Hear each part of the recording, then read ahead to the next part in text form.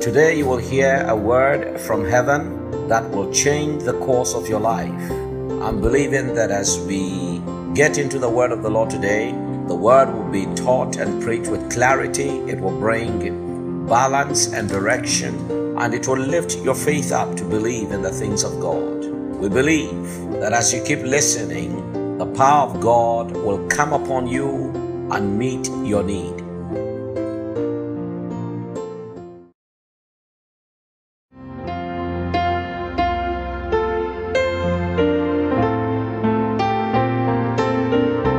Welcome to the Hour of Solution.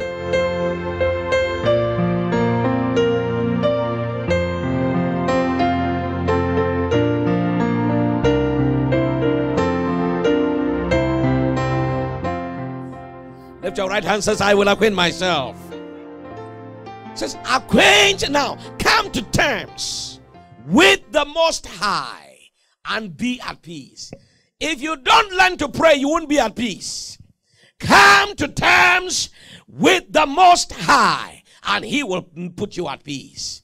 You are trusting the wrong ear, the wrong family members. You are putting your confidence in non working entities. But the Bible says that if you will acquaint now thyself with Him, the Lord, the, the God of the universe, blessed be His holy name. Acquaint now thyself with Him. Hallelujah. Acquaint now thyself with who? With Him, Jehovah, and be at peace thereby good shall come unto thee. Do you love that already? He said, thereby what? Good shall what? He says, come to terms with God and be at peace in his way. Goodwill will come to you. Goodwill, the world calls it uh, uh, good luck. We call it favor. Praise God. You come to terms with God. Come to terms with God. Follow the terms and conditions. The terms and conditions are that the people of God, when they lift up the voice before they pray, God says, I heard them. Hallelujah. Was yet the word was in their mouth, God said, I heard them. Praise the Lord. So come to terms with that. Come to terms with thy creator that God means you well. Acquaint now thyself with him and be at peace, thereby good shall come unto thee. Let's go to verse number 22. Praise God. It says, Receive, I pray thee, the law from his mouth, and lay up his word in thine heart. Listen to what this version says.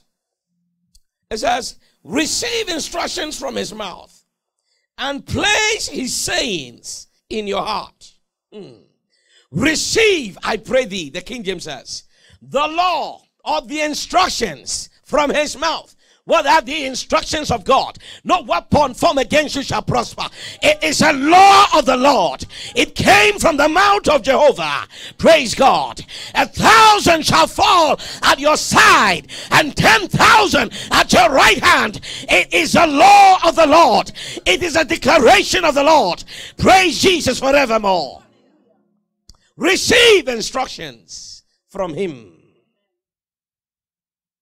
and his sayings in your heart. Look at verse 23. It says, If you return to the Almighty, folks, if we shall return with prayer, hallelujah. If we shall return with prayer, we shall see the hand of the Lord. Hallelujah. I say, if we shall return with prayer, we shall see the hand of the Lord. God does not use titles. God uses availability. You may title yourself until we can't find a title on earth to accommodate you. And you'll still be an earthly baggage. But when you want to become a heavenly good, you make sure that heaven signs you on as an entity of power because you're a person of prayer. The people that know their God through prayer, they shall be strong. Glory to God. If thou return to the Almighty, thou shalt be built up, not broken down. Thou shalt be built. Say, I shall be built up. Hallelujah. Says, if thou shalt put away iniquity from thy tabernacles. Listen to what the, this version says. It says, if you return to the Almighty, you will be renewed. If you banish injustice from your tent, glory to God, injustice from your tent, if you banish it, you will see the hand of God. May the hand of God recover any and everything that seems to be going in slow motions. There is a demon of slow motion that causes people's giftings, abilities, callings, and all that God wants for them to be in slow motion. You see, when when when God commanded Lazarus to come out from the grave, even though Lazarus came alive, yet the Bible says he was still bound in grave clothes. And can you imagine a person in grave clothes? They'll be walking like this, walking like this. They can't move towards destination, but yet they have life in them. There is a scroll that has been written upon some people that you will never move fast, but by the power of the living God. Every place where there is a lead place upon the scroll of your life, by divine edit and by the power and the force of prayer, we uncover the lead and we declare tonight, let the heavens be open, let the God who answers prayer, let him answer prayer, and let God breakthrough now in the name of Jesus. If thou return to the Almighty, you shall be built up. God is seeking to building you up. God is seeking to building me up. God is not seeking to tearing you. The year ahead of us is a year of fulfillment. It's a year of blessing and increase. It's a year of enlargement. Hallelujah. It's a year of expansion. But it's also a year of testing. But if you shall return to the Almighty, you shall be built up. There are many who fall by the wayside because they lack prayer power. And so they're not able to return to the Most High. Thus, to see the hand of God, the dealings of God, the workings of God. But I pray the mercies of God that the Lord will help us to pray. Amen. Glory to God. I've spent considerably hours today in the word and in prayer. And I guarantee you that the years ahead of us will be good if you only tailor yourself to prayer. Now, I'm not talking about wishful thinking because you may wish a thing and never do anything about it. I'm talking about agonizing prayer, prayer that carries volume, prayer that carries weight, prayer. That's when you when you say amen in the end. You know that some release has taken place Amen. Praise the Lord. I'm not talking about prayer that you said amen to yourself and went away and you only know that it was just a motion. No. Prayer that touches the heavens. Prayer that unseats darkness. Prayer that changes the scroll. Prayer that opens that which has been put and led upon by the divine decree of God. We are moving forward to be built by the power of the Almighty in the name of the Lord Jesus Christ. The Bible says, if thou shalt return to the Almighty, you shall be built up. God is seeking to build in somebody's life. God is seeking to build in somebody's life. Verse 24 says, This is what God will do. Thou shalt lay up gold as dust, and the gold of Ophir as the stones of the brooks. It all starts by returning in prayer. It means that there will be no lack. Praise God. Thou shalt lay up gold as dust. You shall walk upon it. It's not going to be something you're going to be running for it. Dust is something under our feet. We were made out of it, but God says what we have been made out from, there is also gold in it. When God made man out of clay, there was yet gold in the earth. And God gave dominion to man to everything on the face of the earth.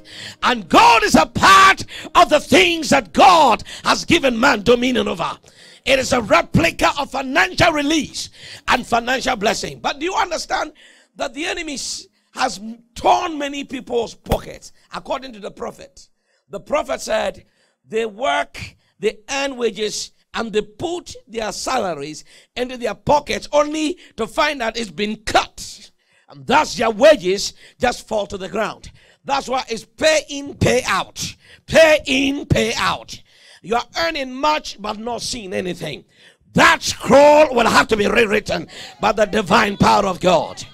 Every power of darkness from the region of the underworld that seeks to unseat your finances, we arise in the power of God Almighty to say, Enough is enough. We are the people of the living God, and we arise to prayer. It is our season to say, Let the powers of darkness abate, and let the God who answers by fire let him answer us now in the name of the Lord. We're no longer going to be walking in penury and in coins, but we're going to become contributors for the kingdom of God. We're not going in slow motions either, we're going in full force. By the time you close your eyes in death, it should be that you contributed to either building a church or that you built one for the glory of God. Praise God forevermore. Look at the Muslims, they are building mosque everywhere and people are not giving credence to it. It's about time we put churches in every corner. Praise God forevermore. His kingdom, his magisterial rule and authority shall triumph over all. And the people that understand that God does not work the arithmetic of heaven by human calculation, but by men that pray, men that seek God, men that penetrate the deep darkness, men that say, We shall not sleep until you give us Scotland, until you give us the city of Falls Church. We shall not give sleep to our eyes. You realize that any time you embark on serious prayer, the enemy leaves you for a moment. Then for a while, he throws in a wrench. And then he distorts your vision. And you'll never return to that again. You see that there was a time, there was a desire in you to pray midnight prayer. You started, you were praying, and things were advancing. God was releasing secrets to you and stuff. And then, whilst you got comfortable, the enemy came and blew. The scroll was written and said to you, Sit down. You are disturbing me. And you also sat down. When you sat down, he put a lid on it, and you have never visited it. 2019, pick up from where you left off. Pick up from where you left off. Lift up your prayer weapon by the Spirit of God. Let darkness understand that by force and by violence we take the kingdom. Praise the Lord. We are possessors of the kingdom.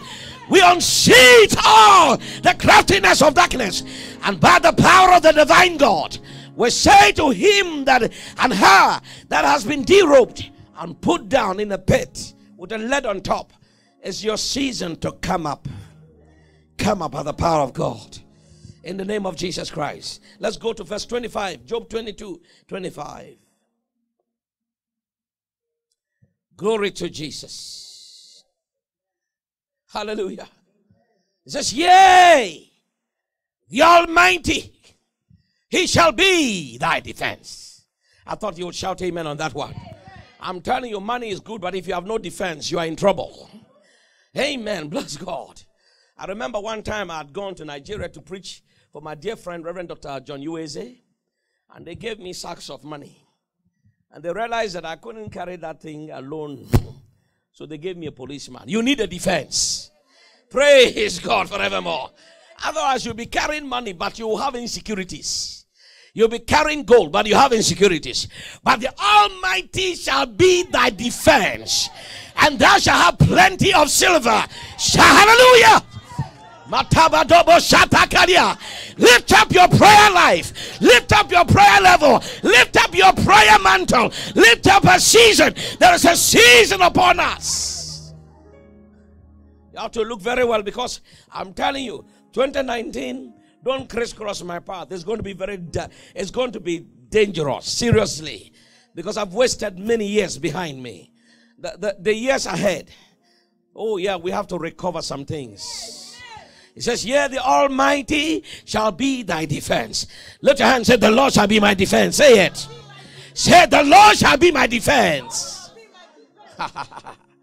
the Lord God shall be your defense. He will defend you. In other words, you will be secure in Him. The Almighty. Now, listen to what the word says here about defense. Now, remember the previous verses and consign your gold to the dust, the gold of Ophir, and to stones of the Wades. The Almighty will be your gold. It uses the word defense for gold. Now, money is a defense. Amen. When you have money, when you talk, people listen. When you are broke, people walk by you. But the hour is changing. Oh, friends, I said the hour is changing. I said the hour is changing. Men are prayed in their rooms and seen the heavens open. And from nowhere, people that were supposed to bring them goods and services, they brought it at their beckon. And it shall be so unto us. George Mueller had an orphanage in Bristol. And he prayed on the day where all these orphans under his care were hungry. They didn't know where food was coming from. The Reverend Mueller told them to bow their heads, to put their plates and cutlery in place, to bow their heads and to pray to the Almighty. To this, with groans and with tears, he offered prayer. At the end, he said, The kids should say amen. They said amen. All of a sudden, they heard a truck had broken right in front of the orphanage. It was carrying food for another place, but the truck would never be able to get to destination point. And so these kids would have to load in fresh milk, fresh baked bread, fresh meat. That's what God does. Hallelujah. Masuta kade bazutaya. That's what God does. The people that know God, they will be able to command elements and things to obey by the word of the Lord. There is something that God is preparing, but it requires the people to be in the timeline, in the prophetic timeline. My friends, you can't be in prophetic timeline and be lazy in prayer. When it's time to pray, you are snoring and sleeping in between. No, your scroll is, is, is the enemy is trying to steal your scroll.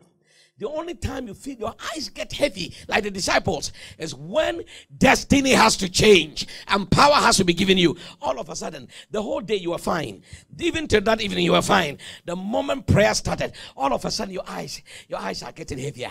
Yeah, it is the enemy. He's blowing because he knows that a better thing has to be written. Ah, what is written about me in the volumes of a book, it cannot be reversed and it cannot be changed. The only person that can delay it is me. I can move in slow motion if I don't deal with the demon of slow motion.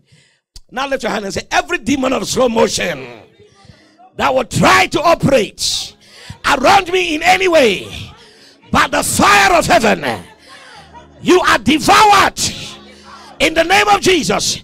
For my defense is of the living God.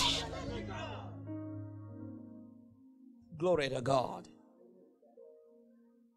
Money is a defense. It says, The Almighty will be your gold and your finest silver. Verse 26 says, For then shalt thou have delight in the Almighty. Do you know that people actually want to do things for God, but they don't have it?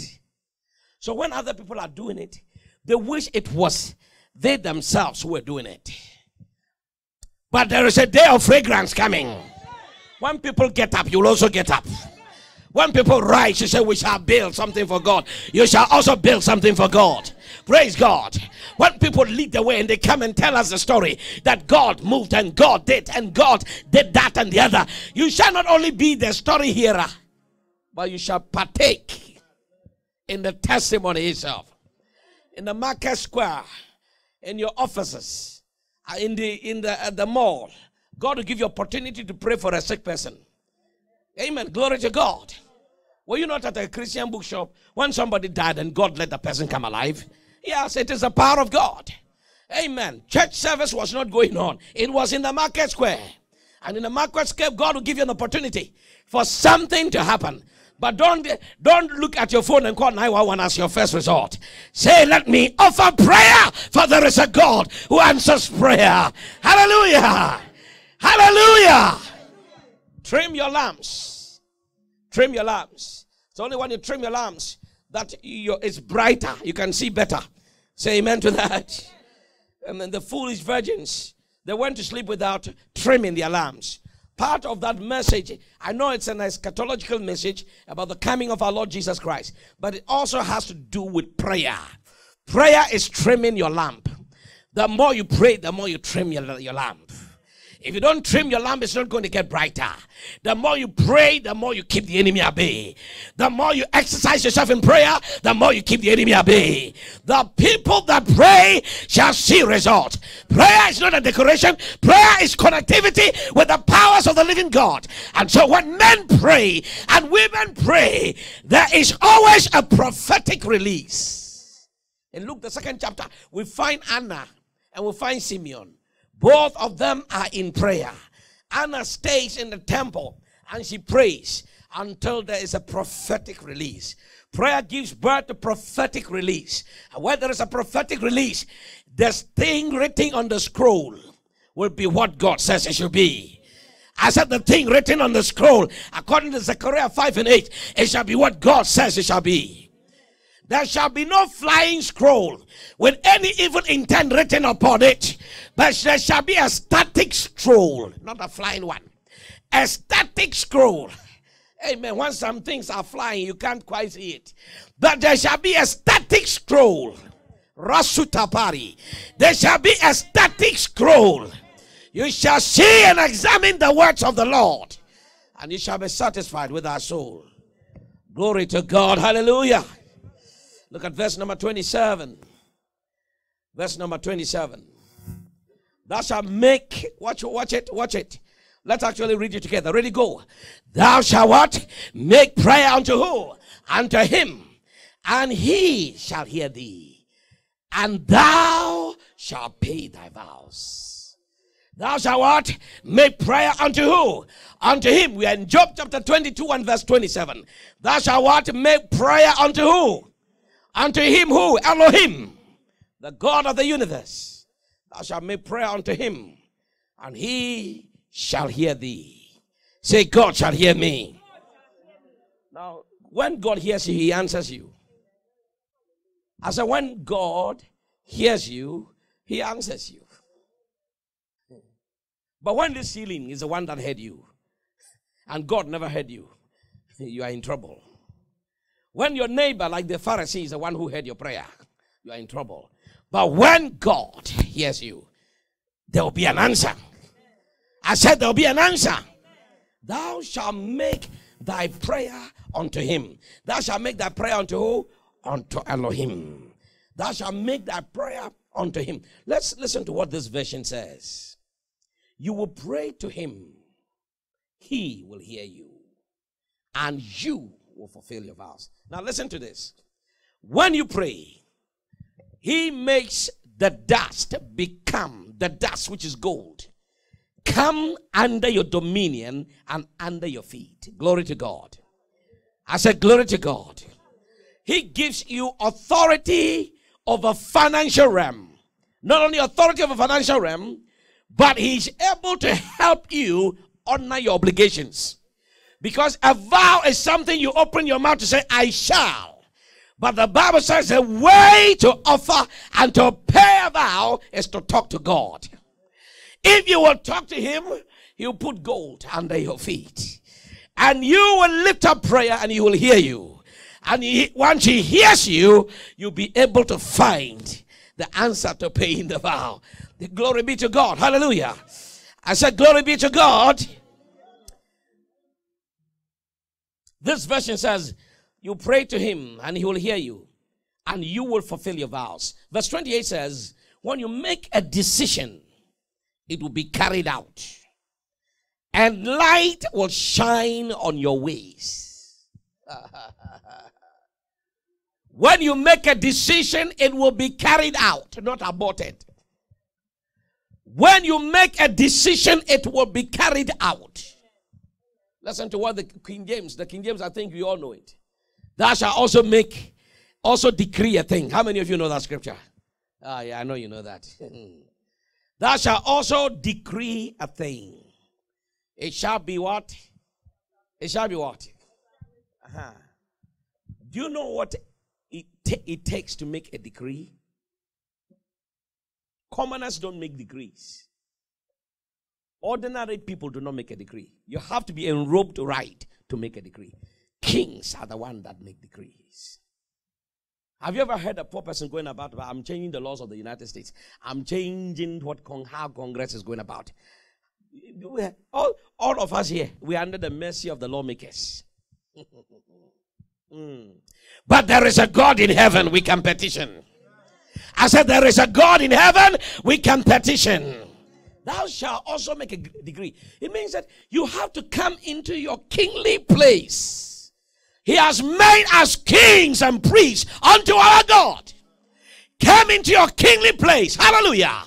Thou shalt also what? Decree a thing. shall be established. You sit down. Let me show you something here. Verse 28 says, You will make a decision. Hmm? Hmm? You with me? It didn't say God will make a decision. You will make a decision. For all of you waiting for God to do something in 2019, I have, I have some bad news for you. He's not going to do anything. He's expecting you to make a decision. How do you mean he will not do anything for me? He's already present. There is nothing new under the sun. God will do for himself as he has said he will do. He is the unchanging God. Malachi 3 and verse 8. God is not changing for anything or anyone. It is us that need to come into the divine timeline. You need to give him something to work with. Oh, uh, oh yeah, I'm just coming to him. Simply broken to the cross, I come. I cling to the old rugged. I'm glad you are clinging to the old rugged, uh, rugged cross. But after the cross, do you know there was Pentecost? And after Pentecost, you know they went abroad. You can't go abroad broke. God has to give you sustenance to go abroad. Are you listening, somebody? Thou shalt decree a thing means that you need to come into your kingly robe. Don't pray like some cheap pauper. You're a king's kid. You are a royal emblem of heaven. You represent the governmental authority of Jesus of Nazareth. You have authority in you and upon you. You have inside you the government of God, and upon you the government of God. You have all that it takes for you to rise in power and dominion. You are not cheap nothing because God does not make any second class anything. You are a royal masterpiece of the living God. His mighty power is available inside you. And you are praying as though God was dead. My God is not dead. God is alive. He's alive and well. He raised the dead. He cleansed the leper. Hallelujah. He cured incurable diseases. And Jesus said, freely as you have received, freely give. That's how we go into our world. We say to men, Look on us.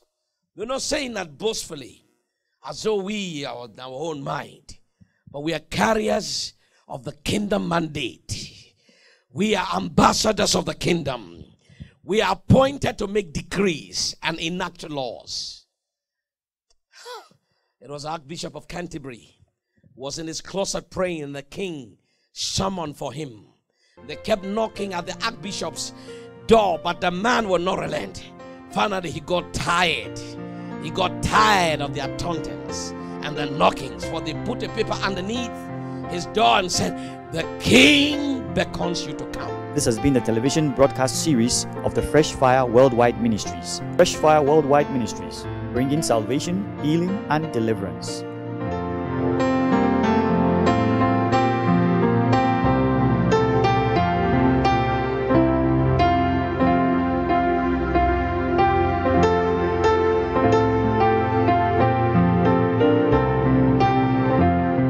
Happy you listened to the broadcast, and we want to give you an opportunity if you have not made Jesus Christ your Savior and Lord as at yet. We believe that by receiving the person of Jesus into your life, your life will be made anew. The Bible tells us in John's Gospel that if we believe on Him, He will give us the right or the power to become children of God. Your life will take a different turn, a better turn. Now simply pray after me Lord Jesus, I know I'm a sinner and need your forgiveness. Forgive me of all my sins and wash me in your precious blood. I believe that Jesus Christ is the Son of God and He came to die for my sins. Friends, if you pray that simple prayer under the basis and the authority of God's Word, your spirit has been reborn. Find a Bible believing church preaches and teaches the Word of the Lord without any fear and grow in it. Or else, just come right by our, any of our services and you'll be greatly blessed. The Lord bless you in Jesus' name.